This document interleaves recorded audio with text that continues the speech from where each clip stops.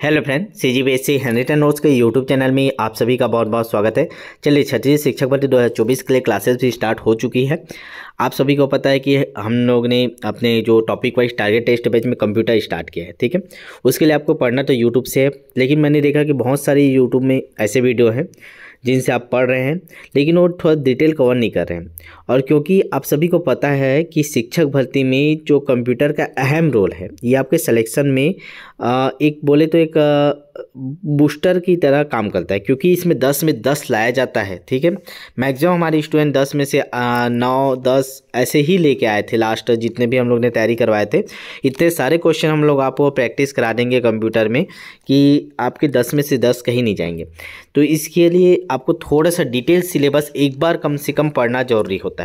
इसीलिए अभी हम लोग ने सबसे पहले अपने topic wise target test batch में कंप्यूटर को स्टार्ट किया कंप्यूटर स्टार्ट करने का उद्देश्य यही है कि इसमें दस में दस लाया जा सकता है और सी जी का पेपर अभी पाँच महीने हैं। तो एक बार अगर हम लोग अभी लगभग दस दिन में कंप्यूटर को पूरा डिटेल से ख़त्म कर लेंगे, पूरा टेस्ट सीरीज़ उसका कंप्लीट कर लेंगे ठीक है तो फिर फिर जब रिवीजन आएगा, एक दो महीने बाद फिर इसका रिवीजन का समय आएगा, दोबारा जब साइकिल में ये हमारा कंप्यूटर आएगा तो फिर से आपका रिवीजन हो जाएगा। तो ऐसे करके इसको पक्का कर लेते हैं, पहले दस में दस नंबर, क्योंकि ये बहुत ही इंपॉर्टेंट मैं बार बार बोल रहा हूँ, शिक्षक भर्ती में चयन चाहिए तो कंप्यूटर को आप इग्नोर नहीं कर सकते, और इसको मज़ाक में मत लीजिएगा कंप्यूटर तो बन जाता है तो ऑब्जेक्टिव सॉल्व कर लो, बन जाएगा करके नहीं। आपको रेगुलर इसको पढ़ना पड़ेगा, बहुत अच्छे से डिटेल में पढ़ना पड़ेगा, एक बार अच्छे से डिटेल में पढ़ लीजिए, फिर आपको कंप्यूटर दस में दस कहीं नहीं जाएगा, ठीक है? तो इसी को ध्यान में रखते हुए हम लोग के द्वारा एक बेहतरीन नोट्स तैयार करवाया गया है, जो पूरा डिटेल में रहेगा, पूरा रामबाण की तरह सिद्ध होगा, हर एग्ज़ाम में काम आएगा तो आप लोग ध्यान से इसको पढ़िएगा, पूरा अंतिम तो वीडियो देखिएगा, ठीक है? भले ही स्पीड में बढ़ा के देख लीजिएगा बाद में दोबारा, ठीक है? ये देखिएगा, शिक्षक भर्ती जो हमारा topic wise target test batch है, वो स्टार्ट हो चुका है। आज पहला टेस्ट है कंप्यूटर का टेस्ट डलेगा, ठीक है? या डल भी चुका होगा, ठीक है? क्लास देख रहे हो तो अभी तक आपका टेस्ट डल गया होगा। आप टेस्ट दिला भी दिए होंगे या नहीं दिलाए होंगे क्लास देखने के बाद आप टेस्ट दिला लीजिएगा। ठीक है?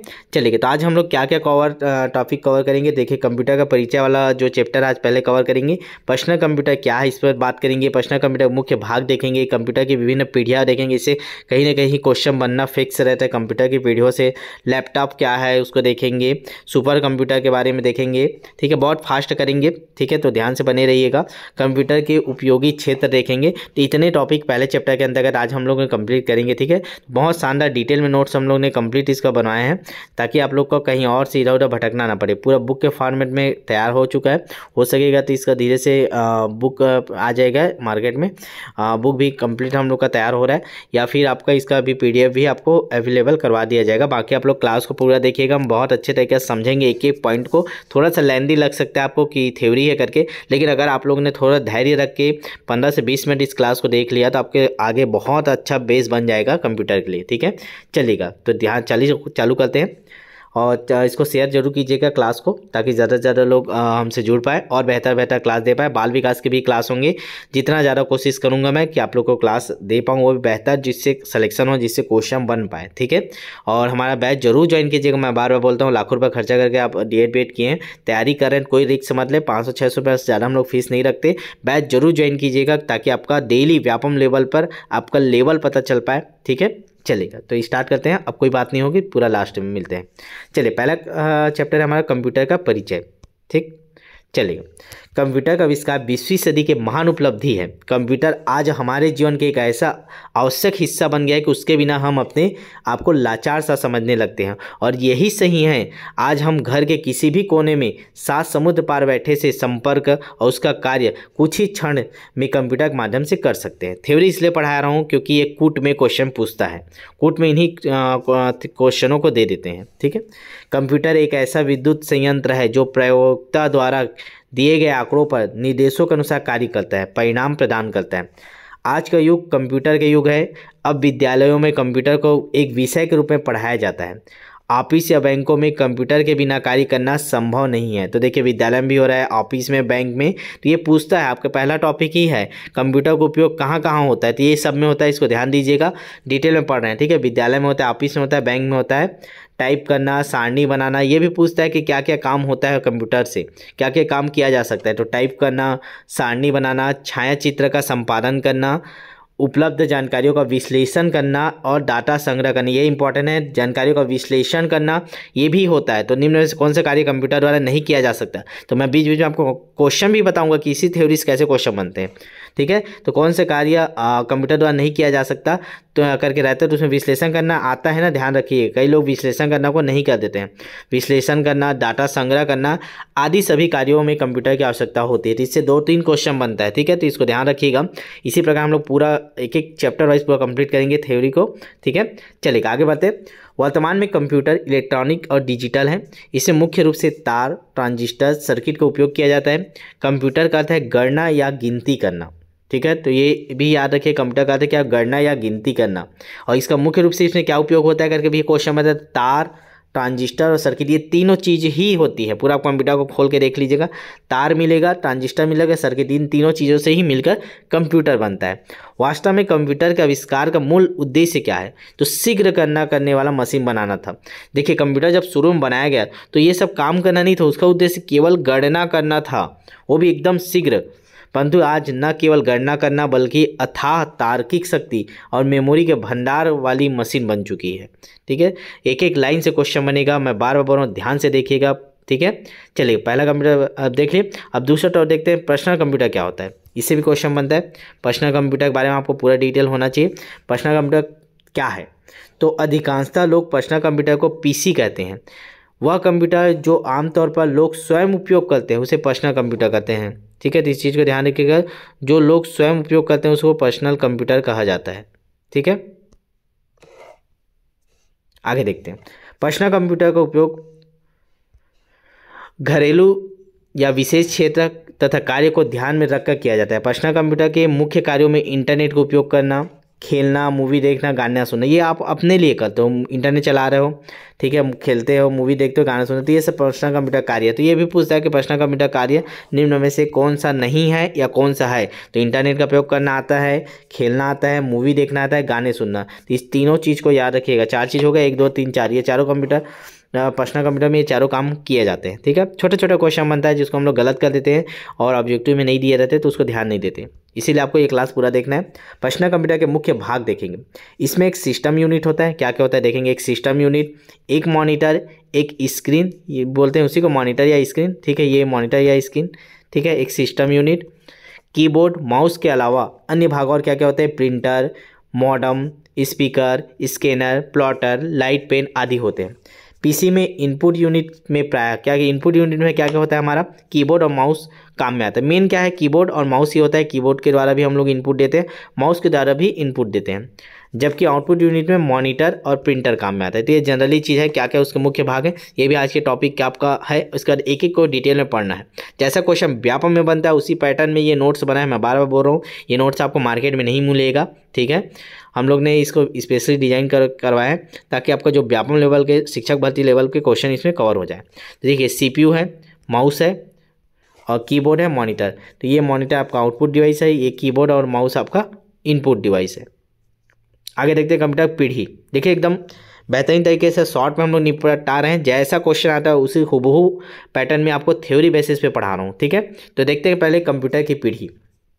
ये इससे दो से तीन क्वेश्चन भी बन जाते हैं कभी। एक क्वेश्चन को मान के चलिए आपका आता ही है पीढ़ी से। तो जितने क्वेश्चन जैसा बनता है उसी पैटर्न में हम लोग पढ़ लेते हैं इसको। कंप्यूटर वास्तव में एक आश्चर्यजनक मशीन है। ठीक है, आश्चर्यजनक मशीन है। आश्चर्यजनक मशीन है। कंप्यूटर के विकास को विभिन्न पीढ़ियों में वर्गीकृत किया गया है। समय अवधि के अनुसार कंप्यूटर का वर्गीकरण निम्नलिखित अनुसार है। पाँच पीढ़ी होते हैं, आपको पता है। सबसे पहले आपको डेट याद करना है। प्रथम पीढ़ी कब से स्टार्ट हुआ था? पैंतालीस से छप्पन। याद रखेंगे पैंतालीस से छप्पन तक प्रथम पीढ़ी दूसरा पीढ़ी फिर छप्पन से तिरसठ तक फिर तीसरा पीढ़ी आपका चौंसठ से इकहत्तर तक फिर चौथा पीढ़ी आपका इकहत्तर से वर्तमान तक ठीक है? और वर्तमान से वर्तमान उपरांत मतलब उसके बाद जितने हैं पचम पीढ़ी अभी चल रहा है पाँचवीं पीढ़ी अभी ठीक है? तो इसको थोड़ा सा डेट को याद रखिएगा ठीक है? शुरू का कम से कम एक दो तीन को पूछ देता है कई बार पूछा गया है प्रथम पीढ़ी का, का समय काल अवधि कब के, कब था? तो याद रखेंगे पैंतालीस से छप्पन छप्पन से तिरसठ और चौंसठ से इकहत्तर। दो तीन बार आप इसको पढ़ेंगे, फिर क्वेश्चन आपके सॉल्व करेंगे तो ये आपका परफेक्ट हो जाएगा, ठीक है? और आपके पास जो भी बुक होगा, मंथन होगा तो मंथन से भी पढ़िएगा, लेकिन ऐसा आपका थ्योरी जो केवल व्यापम में आया, वो हम लोग यहाँ करा रहे हैं, ठीक है? एक्स्ट्रा कुछ भी नहीं पढ़ा रहे हैं ठीक है? प्रथम पीढ़ी के कंप्यूटर देखते हैं तो पैंतालीस, उन्नीस सौ पैंतालीस, उन्नीस सौ छप्पन तक का जो सफ़र था, वो प्रथम पीढ़ी के कंप्यूटर में। अब इसमें क्या क्या इंपॉर्टेंट जो आपको याद रखना है? तो सबसे पहले याद रखिएगा, उन्नीस सौ छियालीस में पेनासिल्वेनिया विश्वविद्यालय तो ये नाम याद रखिएगा पेंसिल्वेनिया विश्वविद्यालय के दो इंजीनियर, प्रोफेसर इकट और जॉन प्रथम। तो ये दोनों नाम पूछते हैं तो ये चीज़ आप लोग के बुक में नहीं मिलता जनरली इसको। प्रोफेसर इकट और जॉन प्रथम डिजिटल कंप्यूटर का निर्माण किया था, जिसमें उन्होंने वैक्यूम ट्यूब का उपयोग किया था। तो प्रथम पीढ़ी में किसका उपयोग किया गया था? तो वैक्यूम ट्यूब का उपयोग किया गया था। उन्होंने अपनी नई खोज का नाम इनिक ठीक है, इनिक रखा था। तो याद रखिएगा, इनिक की खोज इन दोनों ने की है, प्रोफेसर इकड और जॉन प्रथम। कब किया? 1946 में। ठीक है, क्या उपयोग किए थे? Vacuum tube. बस इतना याद रखना है आपको, यहीं से क्वेश्चन बनता है, लंबा चौड़ा इधर उधर पढ़ने की ज़रूरत नहीं है। यह वैक्यूम ट्यूब का है, देख लीजिएगा, इसी का उपयोग होता था प्रथम पीढ़ी में। ठीक है चलेगा आगे बढ़ते ध्यान से पढ़िएगा, लेंदी लग सकता है, मैं बार बार बोल रहा हूँ, लेकिन सलेक्शन चाहिए, दस में दस चाहिए तो आपको इसको पढ़ना पड़ेगा।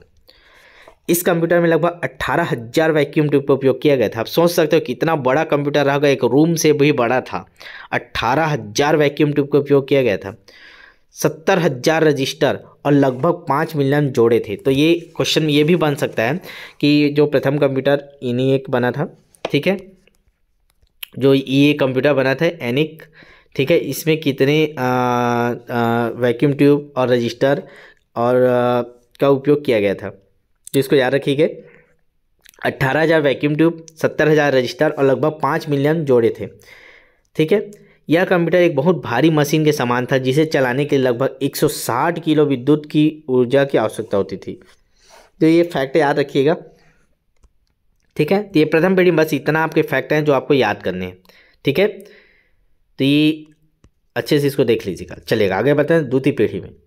ज़्यादा लंबा क्लास नहीं होगा, छोटा सा क्लास होगा, लेकिन वही चीज़ होगा जो आपके व्यापम लेवल में शिक्षक भर्ती लेवल के लिए इंपॉर्टेंट मैं बार बार बोल रहा हूँ, इसलिए पूरा देखिएगा। द्वितीय पीढ़ी के कंप्यूटर उन्नीस सौ छप्पन से उन्नीस तक।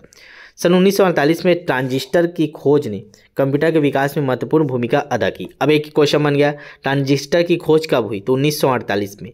इसलिए आपको ये मैं आपको करा रहा हूँ। चाहता था इसका पीडीएफ मैं डायरेक्ट डाल देता, लेकिन पीडीएफ डाल दूँगा ग्रुप में तो आप लोग इसको ध्यान ही नहीं देंगे। क्वेश्चन कैसे बनता है वो समझ ही नहीं पाएँगे, और क्वेश्चन बना नहीं पाएँगे आप।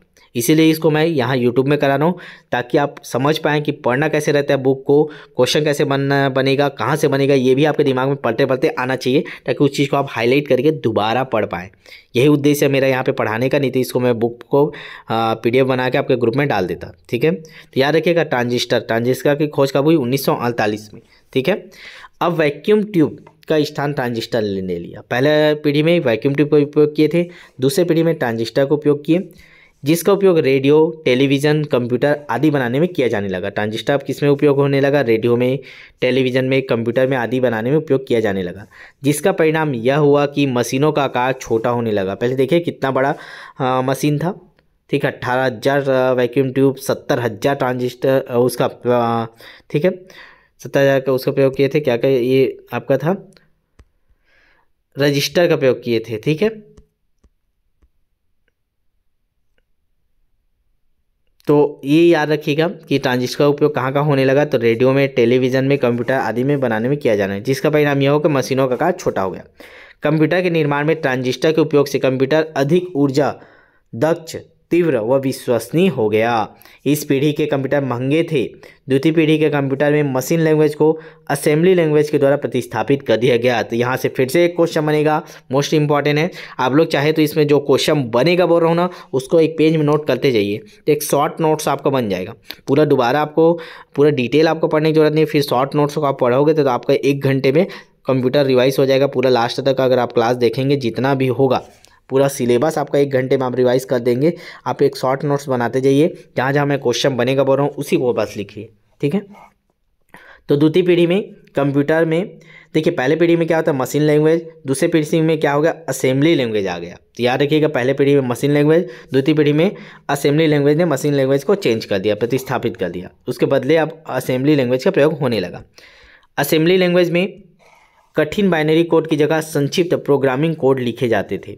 तो पहले जैसे आपका मशीन लैंग्वेज लिखते थे तो उसमें क्या लगते थे हम लोग? बाइनरी कोड का प्रयोग करते थे। ये भी इंपॉर्टेंट है, याद रखिएगा मशीन लैंग्वेज में बाइनरी कोड असेंबली लैंग्वेज में प्रोग्रामिंग कोड ये आपके आते हैं क्वेश्चन कि मशीन लैंग्वेज में कौन सा लैंग्वेज का उपयोग किया जाता था? तो बाइनरी कोड का और असेंबली लैंग्वेज में प्रोग्रामिंग कोड का। ठीक है? और जितने लोग हमारा अभी तक बैच ज्वाइन नहीं किया, मैं बार बार बोल रहा हूँ, आप लोग इतने महँगा खर्चा करके डी एड किए रहते हैं, लाभ की ज़िंदगी का एक अहम पल है। तो इसको आप लोग जाने मत दीजिएगा। ज़रूर हमारा बैच ज्वाइन कीजिएगा। हम लोग आपको पूरी जवाबदारी लेते हैं आज से लेकर जब तक आपका ज्वाइनिंग नहीं होगा तब तक, ठीक है? चलिएगा आगे बढ़ते हैं। तीसरी पीढ़ी में पहुँच गए। तीसरा पीढ़ी का सन तो आपको याद है, चौंसठ से पचहत्तर। इसको लिख के याद कीजिएगा, तब याद होगा। चौंसठ चौंसठ से पचहत्तर, ठीक है? चलेगा। अब इसमें क्या नया, क्या क्वेश्चन बनेगा उसको देखते हैं। यद्यपि वैक्यूम ट्यूब का स्थान ट्रांजिस्टर ने ले लिया था, ये दूसरे पीढ़ी में हो गया था। पहले पीढ़ी में वैक्यूम ट्यूब दूसरे में ट्रांजिस्टर ठीक है? अब तीसरे में क्या हुआ? इसके उपयोग से बहुत अधिक मात्रा में ऊर्जा उत्पन्न होती थी, जो कि कंप्यूटर के आंतरिक अंगों के लिए हानिकारक थी। तो ये दूसरी पीढ़ी में ये हमारी कमज़ोरी थी कि देखिए, अब ट्रांजिस्टर तो लगा रही लेकिन बहुत सारा ट्रांजिस्टर लगाना पड़ रहा था तो बहुत सारा जो विद्युत ऊर्जा उसमें लगती थी तो उसकी हमारी हानि हो रही थी। तो फिर अगला क्या हुआ? फिर उन्नीस में जैक केल्वी ने आईसी बना दिया, इंटीग्रेटेड सर्किट। आईसी का प्रयोग होने लगा तीसरे पीढ़ी में। पहले में वैक्यूम ट्यूब, दूसरे में ट्रांजिस्टर, तीसरे में आईसी ठीक है ट्रांजिस्टर कब हुआ था? उसका आविष्कार 1948 में। ठीक है फिर 10 साल बाद याद रखें 10 साल बाद क्या आएगा? आईसी आया उन्नीस में इसकी खोज जैक किल्वी ने किया था। जिससे कि वैज्ञानिकों ने कंप्यूटर के अधिक से अधिक घटकों को एक एकल चिप द्वारा समाहित कर दिया जिसे सेमीकंडक्टर कहा गया। बहुत सारे आईसी मिल के आ, क्या बन जाता है? एक सेमीकंडक्टर बन जाता है जिसका परिणाम यह हुआ कि कंप्यूटर बहुत तेज और छोटा हो गया। ठीक है? तो ये तृतीय पीढ़ी में बस इतना ही क्वेश्चन बनना है याद रखेंगे। चलिए नेक्स्ट चौथे पीढ़ी में चलते हैं। बहुत फास्ट करना हम लोग। देखिए चौदह पंद्रह मिनट में हम लोग ने बहुत सारे चैप्टर निपटा दिए जहाँ से क्वेश्चन बनते हैं। बहुत इंपॉर्टेंट है। अगर आप, जीवन के चौदह पंद्रह मिनट इसको देख रहे हैं तो आपके दस में दस कहीं नहीं जाएँगे। ठीक है? चलिएगा अगला देखते हैं। चतुर्थ पीढ़ी के कंप्यूटर उन्नीस सौ इकहत्तर से वर्तमान तक। सन उन्नीस सौ इकहत्तर में बहुत अधिक मात्रा में सर्किट को एकल चिप पर समाहित किया गया। ठीक है? जिसको एल एस आई बोलते हैं। लार्ज स्केल इंटीग्रेटेड सर्किट देखिए तो इसको पहले तो वो भी करते थे। आईसी का यूज़ तो तीसरे पीढ़ी में चालू हो गया था। अब उसको एक चिप के माध्यम से करने लगे।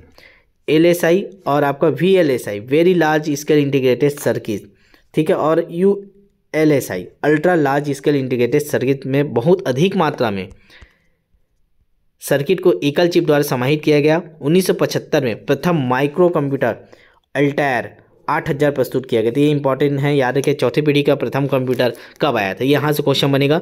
चतुर्थ पीढ़ी का प्रथम कंप्यूटर कब आया था? उन्नीस सौ पचहत्तर में। प्रथम माइक्रो कंप्यूटर आया था। अल्टायर आठ हज़ार। ठीक है? ये देखिएगा। ऐसे वी एल एस आई होती है, इसमें बहुत सारे देखिए, छोटे छोटे छोटे छोटे सभी चीज़ को इसी में समाहित कर दिया गया था। ठीक है? तो ये चार प्रकार के याद रखिएगा। L S I V L S I U L S I तीन प्रकार के, तीनों का फुल फॉर्म याद रखिएगा। Large scale integrated circuit very large scale integrated circuit, ultra large scale integrated circuit. ठीक है, ये तीनों का फुल फॉर्म पूछता है। ठीक चले आगे बढ़ते हैं। आगे देखते हैं। ध्यान से देखिएगा थ्योरी आपको बोर नहीं लगना चाहिए, क्योंकि यही थ्योरी से आपका सिलेक्शन होना है। अगला, उन्नीस में IBM ने पर्सनल कंप्यूटर प्रस्तुत किया, जिसका उपयोग घर कार्यालय विद्यालय में होता था। चतुर्थ पीढ़ी के कंप्यूटर में लैपटॉप का निर्माण किया गया था। ये इंपॉर्टेंट है। लैपटॉप का निर्माण कंप्यूटर के किस पीढ़ी में किया गया? यहाँ से क्वेश्चन मतलब इंपॉर्टेंट डाल दीजिएगा। ठीक है? लैपटॉप का निर्माण कंप्यूटर के किस पीढ़ी में आता है? तो ये चतुर्थ पीढ़ी में आता है, जो कि आकार में ब्रिफकेस के समान था। प्लेमटॉप का निर्माण भी इसी में किया गया। प्लेमटॉप जो ऐसे गोद में रखते हैं, छोटा सा, लैपटॉप का छोटा सा रहता है। उसको प्लेमटॉप भी बोलते हैं, जिसे जेब में रखा जा सकता है। ठीक है? या जिसको टेबलेट भी समझ सकते हो प्लेमटॉप टाइप का। ठीक है? अब आते हैं हम लोग पंचम पीढ़ी। ठीक है, वर्तमान से वर्तमान की बात कहें मतलब मान के चलो कि अभी 1990 के बात कहिए। पंचम पीढ़ी के कंप्यूटर देखते हैं। पंचम पीढ़ी के कंप्यूटर को परिभाषित करना कुछ कठिन होगा। इस पीढ़ी के कंप्यूटर लेखक सी क्लार्क के द्वारा लिखे उपन्यास अ स्पेस ओडिसी में वर्णित H A L, HAL, nine nine हज़ार, नाइन थाउज़ेंड के समान ही है। अब देखिएगा, इसमें दो तीन चीज़ बातें हैं आपके कंप्यूटर के एग्ज़ाम के लिए। सबसे पहले कंप्यूटर की एक बुक आती है, उपन्यास आती है, अ स्पेस उड़ीसी इसको याद रखिएगा, अ स्पेस उड़ीसी ये किसकी रचना है, ये पूछता है। ठीक है तो इसको याद रखिएगा सी क्लार्क। सी क्लार्क के द्वारा एक बुक लिखी गई, उपन्यास लिखा गया, अ स्पेस ओडिसी। इसमें हेल नाइन नाइन थाउज़ेंड के समान ही हैं। ये रियल लाइफ कंप्यूटर होते हैं, जिसे आर्टि, जिसमें क्या होता है, आर्टिफिशियल इंटेलिजेंस, जो अभी आप लोग देख रहे हो, आर्टिफिशियल इंटेलिजेंस आधुनिक टेक्नोलॉजी, विज्ञान का उपयोग करके इनका निर्माण किया जाएगा। ये अभी मेन बोले तो ये अभी हुआ नहीं। पंचम पीढ़ी का निर्माण अभी चल रहा है। जो आर्टिफिशियल इंटेलिजेंट है ना, वो पाँचवीं पीढ़ी के अंतर्गत अभी हम लोग इसमें काम कर ही रहे हैं। ये पूरा भी कंप्लीट नहीं हुआ, इसमें हम लोग सफल नहीं हुए हैं। काम चल रहा है। जितने आप रोबोट वोबोट देख रहे हैं, वो सब इसी में आते हैं, ठीक है? जिसमें एक एकल सीपीयू की जगह समानांतर प्रोसेसिंग होगी तथा इसमें सेमीकंडक्टर टेक्नोलॉजी का उपयोग किया जाएगा, जिसे बिना किसी प्रतिरोध के विद्युत का प्रवाह होगा, जिससे सूचना के बहाव की गति बढ़ेगी। ठीक है? अब चलिएगा लैपटॉप के बारे में थोड़ा सा देख लेते हैं, इससे क्वेश्चन बनता है। लैपटॉप का आविष्कार का कौन सी पीढ़ी में होता है? चौथा पीढ़ी हम लोग पढ़ चुके हैं। ठीक है? लैपटॉप क्या है? एक लघु कंप्यूटर है, जिसमें मॉनिटर के अतिरिक्त सभी अवयव छोटे आकार के होते हैं। ठीक है? इसमें मॉनिटर बस बड़े आकार का होता है, आप लोग देखे होंगे। जितना आकार का आपका कंप्यूटर होता है, उतने आकार के इसमें सोलह इंच का कम से मॉनिटर होता है, बड़ा वाला लेंगे तो। लेकिन बाकी सब चीज़ें एकदम छोटी छोटी होती है, इस छोटा सा इस डिब्बे में आ जाता है सब चीज़। इसमें माउस होता है कीबोर्ड होता है सीपीयू होता है, हर चीज़ आ जाता है। इसका मॉनिटर एलसीडी का बना होता है है, जिसके कारण ये चपटा होता है, ठीक है? लैपटॉप कंप्यूटर का एक छोटे ब्रिपकेस की भांति संयोजित होता है, यह दिखने में एक पुस्तक के समान होता है। इसे उसी प्रकार खोलकर उपयोग किया जाता है। लैपटॉप में बैटरी भी होती है, जिसकी सहायता से बिना विद्युत के भी लैपटॉप का प्रयोग किया जाता है। आप सभी को इस बारे में पता है, ठीक है? चौथी पीढ़ी याद रखेंगे। अब देखते हैं सुपर कंप्यूटर से क्वेश्चन बनते तो उसको थोड़ा सा देख लेते हैं। सुपर कंप्यूटर सुपर कंप्यूटर की गति सामान्य कंप्यूटर की तुलना में दस गुना होती है, ठीक है? तो सुपर कंप्यूटर गति सामान्य कंप्यूटर की तुलना में कितनी गुना होती है? ये क्वेश्चन भी बनता है तो याद रखेंगे दस गुना। यह अत्यधिक जटिल गणनाओं को शीघ्रता से करने में सक्षम होते हैं। सुपर कंप्यूटर का उपयोग वैज्ञानिक संस्थान, मौसम की भविष्यवाणी, सुरक्षा क्षेत्रों में तथा ऊर्जा शक्ति संयंत्रों के लिए मॉडलिंग आदि समस्याओं के लिए किया जाता है। तो ये इंपॉर्टेंट है, यहाँ से क्वेश्चन बनते हैं। सुपर कंप्यूटर के निम्न कार्य होते हैं करके चार ऑप्शन दे देंगे। या निम्न कार्य नहीं होते करके चार ऑप्शन दे देगा। तो इसको बेहतरीन तरीके से याद कीजिएगा एक बार फिर से। सुपर कंप्यूटर का उपयोग वैज्ञानिक संस्था ठीक है, वैज्ञानिक जितने खोज करते हैं, वहाँ सुपर कंप्यूटर का प्रयोग किया जाता है। मौसम की भविष्यवाणी में, सुरक्षा क्षेत्रों में, ऊर्जा एवं शक्ति संयंत्रों के लिए मॉडलिंग तथा, ठीक है, जो सुरक्षा संयंत्र बनाते हैं, उसका मॉडल बनाने के लिए, समस्याओं के लिए, ये सब समस्याओं के लिए किया जाता है। सुपर कंप्यूटर आकार में बड़े और कीमती होते हैं, ये देख सकते हैं। ऐसे बड़े बड़े बॉक्स के रूप में बड़े बड़े सुपर कंप्यूटर बनाए जाते हैं, ठीक है। बहुत सारे बॉक्स होते हैं, उसमें बहुत सारे चीज़ें रहती अब, आपसे जो क्वेश्चन और क्या बनते हैं? कंप्यूटर के उपयोगी क्षेत्र, किस किस क्षेत्रों में कंप्यूटर का उपयोग होता है, इससे बहुत क्वेश्चन बनते हैं, उसको हम लोग कंपाइल किए कंप्यूटर के उपयोगी क्षेत्र, कंप्यूटर ने विभिन्न क्षेत्रों में अपना वर्चस्व स्थापित कर लिया है। कंप्यूटर का उपयोग बैंकिंग, चिकित्सा, यातायात, संचार, मौसम, मनोरंजन, विज्ञान, शिक्षा, उद्योग, सरकारी कार्य आदि में होता है। एक बार और ध्यान से पढ़िएगा, कहाँ कहाँ होता है कंप्यूटर का उपयोग? तो कंप्यूटर का उपयोग बैंकिंग में होता है चिकित्सा में होता है, यातायात में होता है, संचार में होता है, मौसम में होता है, मनोरंजन में होता है, विज्ञान में, शिक्षा में, उद्योग में, सरकारी कार्य आदि में होता है। ये सभी कार्य कंप्यूटर से भली भांति संचालित होते हैं। ठीक है? तो आज की क्लास में बस इतना ही। पहला चैप्टर हम लोग ने इसको किए। आप लोग को पता है, पिछली बार हमारी बुक भी आई थी। ठीक है? जिसको ई बुक करके हम लोग ने बेच दिया था। हम लोग मार्केट में उसको नहीं लाए थे, पूरे प्रैक्टिस सेट थे। उसी प्रकार कंप्यूटर का भी ये बुक तैयार किया गया है। लेकिन इसको भी अभी मार्केट में नहीं लाएँगे, हो सकेगा। इसको आप लोग को पीडीएफ मिल जाएगा। लेकिन पीडीएफ उतना उपयोगी नहीं होगा जितना आप यहाँ मेरे साथ समझ के क्वेश्चन कैसे बनते हैं, शिक्षक बनती में व्यापम लेवल पर उसको समझ के पढ़ेंगे। इसीलिए मैं आपको यहाँ करवा रहा हूँ इसको, ताकि आप लोग इसको एक बार अच्छे से पढ़ लीजिएगा। ठीक है? ज़रूरत पड़ेगा तो इसका पीडीएफ हम लोग बाद में देंगे। अभी नहीं देंगे, मत मांगिएगा, ठीक है? क्योंकि आप, अभी आपको दे देंगे पीडीएफ तो आप यहाँ पढ़ेंगे नहीं। और यहाँ पढ़ेंगे नहीं तो आपको समझ में नहीं आएगा क्वेश्चन कैसे बनते हैं। और क्वेश्चन कैसे बनते समझ में नहीं आएगा तो आप अपने घर में भी जो भी बुक होंगे, मंथन भी बहुत अच्छा बुक है, उससे भी पढ़ होंगे तो आपको समझ में नहीं आएगा पढ़ना कैसे है। इससे आप लोग सीखेंगे कि मैं जो चीज़ को हाईलाइट करता हूँ, उस चीज़ को आपको भी घर में हाईलाइट करना है और समझना है कि इससे क्वेश्चन बन सकते हैं, ठीक है? तो आज की क्लास में बस इतना ही रखेंगे। जिन लोग भी अभी तक हमारा बैच ज्वाइन नहीं किया, मैं बार बार बोल रहा हूँ बैच ज़रूर ज्वाइन कर लीजिएगा ये अंतिम मौका है शिक्षक बनने का। इसके बाद ऐसा बड़ा पोस्ट कभी नहीं आएगा और हम लोग पूरी जवाबदारी ले रहे हैं। तो आप लोग इस नंबर में एक बार मैसेज ज़रूर कीजिएगा। पचहत्तर, तिरासी, छियासी, चौवालीस, इकसठ। और एक बार ज़रूर हम लोग का पूरा रणनीति समझ लीजिएगा। जिन लोग भी ज्वाइन नहीं किए, और ज़रूर ज्वाइन कर लीजिएगा। और जिन लोग ज्वाइन कर लिए हैं, वो अपने दोस्तों, परिवार, परिचित सभी को ऐड करवाइए, ताकि बेहतर तरीके से आप लोग कॉम्पिटिशन में हिस्सा ले पाएँ और आप लोग और बेहतर हम लोग कर पाएँ। ठीक है? चलेगा अब टेस्ट नहीं दिलाए हम लोग टेस्ट दिला लीजिएगा। टेस्ट डल चुका है। कल फिर इसी समय क्लास के लिए मिलते हैं। आप लोग आ जाया करिएगा यूट्यूब में। जितने लोग भी देख रहे हैं, चैनल को सब्सक्राइब ज़रूर करके रखिएगा। ठीक है? चलिएगा।